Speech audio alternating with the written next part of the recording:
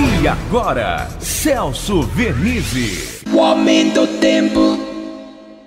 Olá, amiga, olá, amigo. A situação do tempo melhora um pouco no interior do estado, já no litoral e no Nordeste paulista, na divisa com Minas Gerais, no norte também, situação de instabilidade. Ao longo das praias, ainda solo encharcado, molhado, muito cuidado, muita atenção nas encostas, porque ainda há o risco de deslizamentos. Tomara que não aconteçam.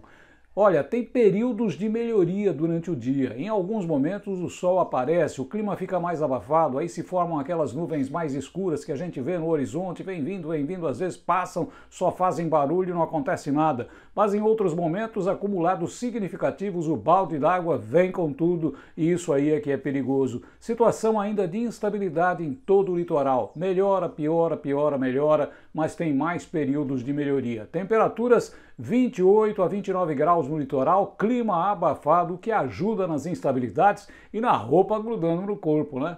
Situação, portanto, melhor no fim de semana. Vai melhorar bastante e nós vamos ter praia novamente.